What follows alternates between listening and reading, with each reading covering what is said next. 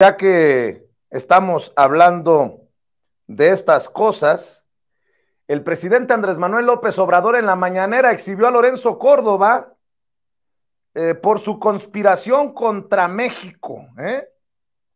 De hecho, Nancy Flores, eh, corresponsal de la revista Contralínea, en su planteamiento habla del descarado conspirador llamado Lorenzo Córdoba y su gira por Estados Unidos esta gira de Lorenzo Córdoba, bueno, pues ya el algún presidente del Instituto Nacional Electoral eh, se descaró, como usted mismo mencionó, eh, ya como alguien que conspira contra el pueblo de México. Esto porque se reunió con organizaciones golpistas como son la OEA y la NET.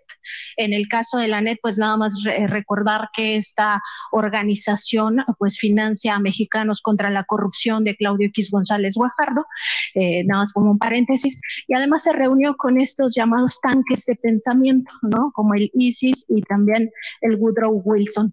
Eh, en este contexto, presidente, preguntarle si su gabinete de seguridad ha eh, pues analizado la posibilidad de que en el INE haya algún eh, tipo de pues agravio contra las bases de datos, contra el padrón electoral. Esto ya ocurrió cuando al frente del Instituto Federal Electoral estaba José Woldenberg se vendió la base de datos del padrón electoral a una empresa estadounidense. Preguntarle si desde su gabinete de seguridad pues se ha evaluado que esto pudiera ocurrir, que se dañen las bases de datos para después eh, que ellos digan que hubo un sabotaje y que las elecciones de 2024 no serían seguras.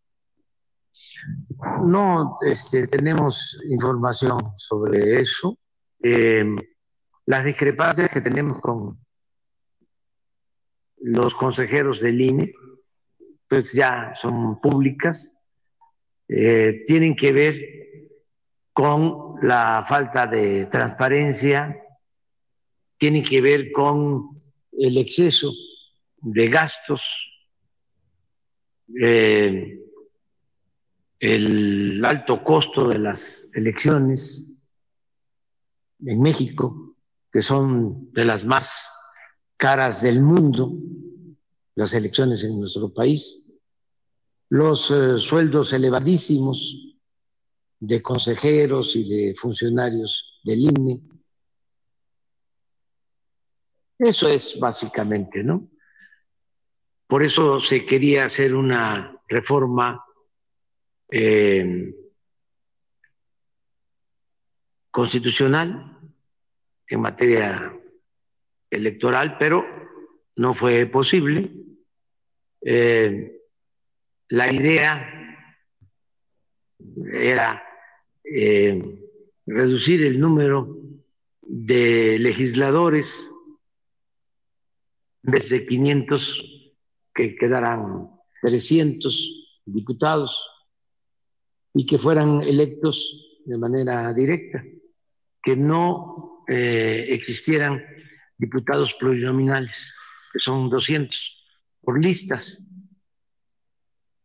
eh, quedarán 300. Eh, lo mismo en el caso del Senado, reducir el monto del presupuesto en general para todo el sistema electoral, que es del orden de 25 mil millones de pesos por todo esto que está diciendo el presidente, por todo esto que está diciendo el presidente Andrés Manuel López Obrador, es que no es poca cosa como ayer el eh, diputado federal de Morena por Tabasco y, y representante de Morena ante